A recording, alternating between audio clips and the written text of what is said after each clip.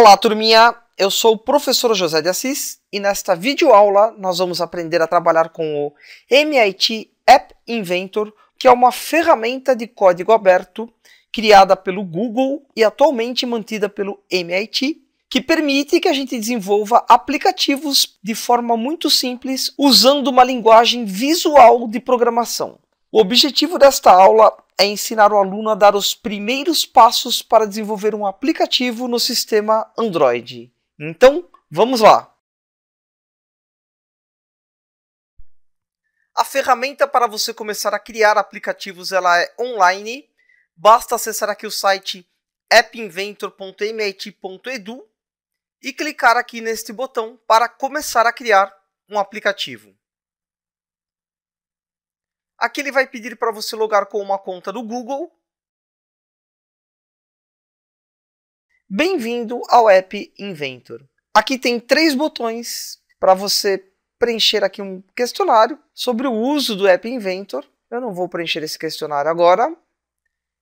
E ele aparece essa telinha aqui. Eu vou clicar aqui em não mostrar mais essa mensagem e continue.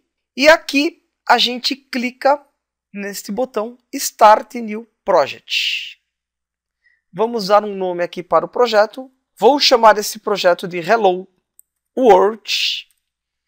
Nomes de projetos não podem conter espaço e vou clicar aqui no botão OK. Bom, esta aqui é a tela inicial do App Inventor. Se a gente observar aqui no canto superior direito, nós estamos no modo Designer. O modo Designer é onde a gente vai inserir aqui todos os componentes que vão aparecer na tela do nosso aplicativo e também aqui todos os recursos que a gente vai usar, como por exemplo um sensor. E aqui este botão Blocks é onde a gente faz toda a programação do aplicativo. A gente usa aqui uma linguagem visual de programação, esses bloquinhos coloridos aqui. Vamos começar aqui então no modo Designer. E o Hello World aqui tradicional do App Inventor é a gente criar aqui um botão e quando apertar esse botão ele emitir um som. E é exatamente isso que a gente vai fazer. Eu vou começar aqui então selecionando a tela. Aqui em componentes eu visualizo todos os componentes que eu estou usando aqui no meu aplicativo. Aqui no canto direito eu tenho propriedades da tela. Vamos falar aqui de algumas propriedades. Aqui em App Name, o nome do aplicativo vai ser Hello World. Vamos rolar aqui para baixo. Eu tenho aqui ó, Title e Title Visible. Essas duas propriedades se referem aqui a essa tela cinza. Você pode dar um nome aqui para o aplicativo Neste caso, eu não vou querer nenhum nome, eu vou remover aqui o título e a visibilidade do título. Aqui a gente tem duas informações importantes. A gente pode publicar o aplicativo feito aqui no App Inventor na loja do Google. E é muito comum a gente estar atualizando versões do aplicativo. Essas informações junto com uma chave são bem importantes e aqui com relação ao fundo da tela, ele por padrão vem com a cor branco. Eu vou mudar este padrão. Aqui em Background Color, a gente clica aqui e eu escolho aqui None.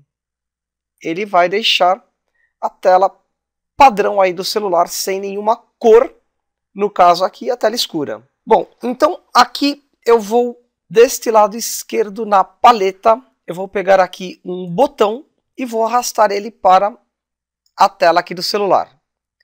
Percebam que aqui em componentes, numa camada inferior à tela, eu tenho aqui um botão que eu acabei de inserir. Eu quero aqui deixar esse botão no meio, centralizado na tela do aparelho, independente do tamanho da tela.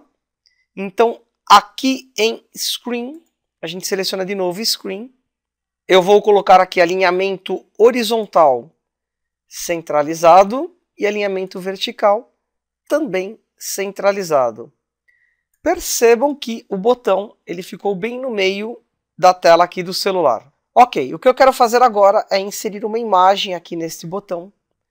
Para isso, a gente seleciona aqui o botão, botão 1 aqui em cima, e na propriedade aqui Image, eu faço aqui o upload de um arquivo.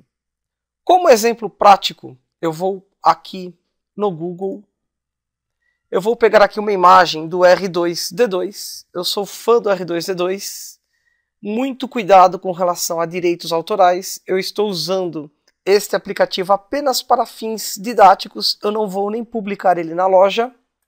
Neste caso aqui, eu vou fazer o download desta imagem. Você pode usar qualquer outra imagem, eu recomendo o formato PNG. Eu vou salvar aqui esta imagem como R2D2 Droid, pode ser aqui em Downloads. Vou voltar aqui para a ferramenta MIT App Inventor e aqui Upload File, vou clicar aqui e vou escolher o arquivo na minha pastinha de downloads, o R2D2. Ok. Percebam que aqui automaticamente o botão ele se adaptou ao tamanho da imagem. Ficou um botão grandão aqui com a imagem do R2D2. Esse tamanho aqui que ele automaticamente redimensionou, você pode, se você quiser, aqui nas propriedades do botão, atenção, estou selecionando aqui o botão, propriedade height, que significa altura, você pode clicar aqui e alterar para porcentagens ou pixels. Eu vou deixar aqui o tamanho automático neste caso. E aqui o width, que é a largura, você também pode colocar em pixels ou em porcentagem. Vou clicar aqui em cancelar. E tem um texto aqui no botão, ó, Text for Button 1. Eu quero remover esse texto. Ainda com o botão selecionado, eu venho aqui na propriedade Text e simplesmente apago aqui esse texto. Ok. Temos aqui então a imagem do R2D2. Quando eu apertar este botão, eu quero que o R2D2 emita um som. Para isso, eu vou precisar aqui adicionar um recurso para ele reproduzir um áudio. Então, a gente volta aqui no lado esquerdo. Eu tenho aqui na paleta a interface do usuário, né?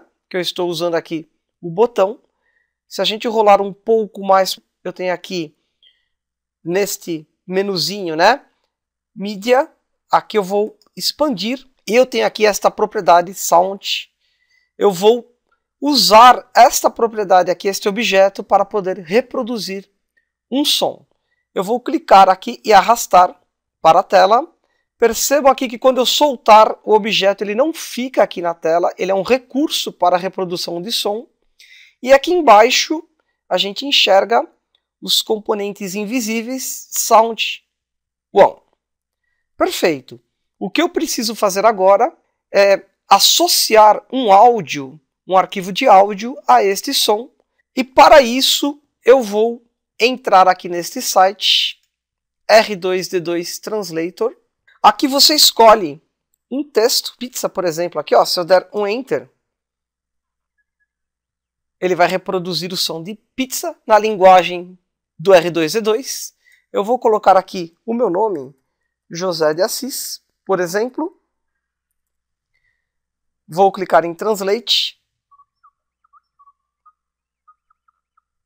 Ok. Este áudio aqui, eu quero fazer o download, eu quero colocar ele lá no meu aplicativo quando eu apertar o botão. Então, vou clicar aqui neste botão Download. E aqui o site está me falando para clicar com o botão direito neste link e salvar o link como. Eu vou clicar aqui em salvar. Eu tenho aqui um áudio em MP3, que é o formato que a gente vai usar no MIT App Inventor, do R2D2. E aqui, voltando à ferramenta, selecionando aqui o componente, a gente pode selecionar o componente aqui ou por aqui também em componentes. E aqui embaixo em Source, eu vou clicar aqui e fazer o upload de outro arquivo. neste caso, um arquivo de áudio. Vou clicar aqui, escolher o arquivo e pegar esse arquivo aqui que eu fiz o download lá do site. Vou dar aqui um OK. Perfeito, temos aqui então um botão com uma imagem do R2-D2. Quando daqui eu tocar na tela apertando este botão, eu quero que ele reproduza aqui o som do R2-D2. Mais um componente que eu quero colocar aqui. Vamos aqui em sensores. É o sensor acelerômetro. Eu vou arrastar ele aqui. Percebam que ele também é um componente que não é visível. O que, que eu quero fazer? Eu quero sacudir o celular e ele também reproduzir o som do R2D2. E o que falta aqui para a gente encerrar esta parte aqui de designer é aqui em screen, aqui na tela, vamos selecionar o componente tela. Percebam que todos os outros objetos estão em uma camada inferior ao componente tela. E aqui em tela, a gente precisa escolher aqui um ícone. Este ícone ele vai aparecer na telinha do seu celular como um aplicativo, né? Quando você instalar isso no aparelho. E este ícone tem que ter o formato PNG transparente de tamanho 512 por 512 pixels. Vamos lá então, eu vou aqui novamente na pesquisa de imagens, vou personalizar aqui a pesquisa R2D2 PNG. Aqui em ferramentas eu vou escolher cor transparente e tamanho exatamente 512 por 512 pixels. Ok, vou selecionar este aqui, botão direito do mouse, salvar imagem como R2D2 icon, salvar. Aqui, então, voltando ao aplicativo App Inventor, seleciona a tela novamente aqui, né? E com aqui a gente faz o upload do arquivo, escolhe o arquivo R2D2 icon. Vamos abrir. OK. Neste caso, a gente não enxerga este ícone, a gente só vai ver este ícone quando a gente instalar o aplicativo no aparelho celular. Apesar de não publicar aqui na loja do Google esse aplicativo, eu vou instalar ele no aparelho. Perfeito, então finalizamos aqui a parte de designer. Eu trouxe aqui todos os objetos, todos os componentes, vinculei aqui som, imagem, de tudo que eu preciso nesse aplicativo, que consiste em eu pressionar aqui este botão e ele emitir um som da linguagem R2D2, ou então por causa aqui do acelerômetro, eu sacudir o meu aparelho celular e ele também reproduzir este som. Esta parte então de designer está concluída. Um detalhe aqui importante é a gente observar o nome dos objetos. É uma boa prática dentro da linguagem de programação a gente renomear aqui os objetos. Se a gente tiver um projeto muito grande com vários botões, por exemplo, fica mais fácil saber do que se trata cada botão então, para renomear aqui um botão, por exemplo, eu clico no objeto botão, venho aqui Rename e renomeio aqui para, por exemplo, BTN R2D2. Ok. E aqui em Sound, eu vou selecionar aqui e vou renomear este objeto para SND R2D2. Ok. Por questões didáticas, vou manter esse nome aqui do sensor acelerômetro. E o próximo passo é a gente clicar aqui em Blocks para poder fazer a programação do nosso aplicativo.